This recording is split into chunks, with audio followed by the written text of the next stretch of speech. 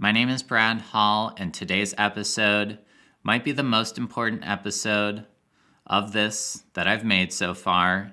I'm going to be comparing the Yeezy 700 analogs to the salt pair that came out a little bit ago. Now, these two shoes, they are fairly similar. They're lighter colorways, they're simple colorways, and they can be purchased for about the same price in that secondary market. So maybe you don't have either of these, you're on the fence, you don't know which one you want to buy. It's a tough choice to make, and today I'm going to help you make that choice.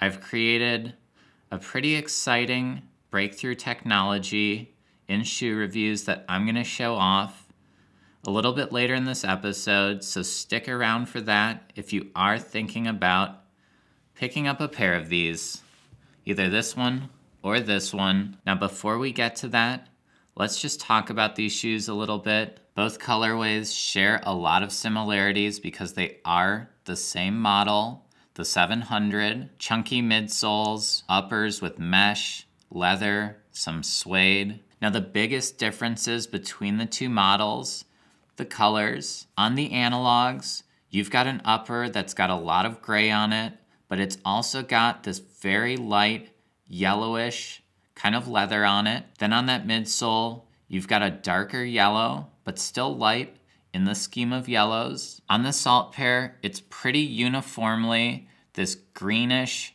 gray color. So side by side, these two are very different. This one, greenish gray. This one, light gray and a little bit of yellowishness. So it's one thing to see the color difference in isolation, but it's a totally different thing to see it on foot. That's what I'm gonna show you to help you if you are deciding between these two shoes. I set up a camera for a first person perspective, so it's a really realistic idea of what these two shoes will look like on your feet. I tried to wear a great variety of pants. I think I hit a little bit of something for everyone. So now I present to you a virtual reality shoe try on thing.